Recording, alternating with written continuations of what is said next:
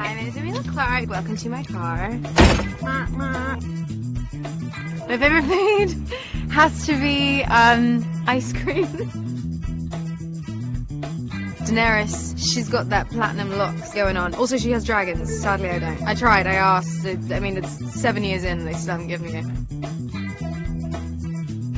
it. My impressive eyebrow skills come down to genetics.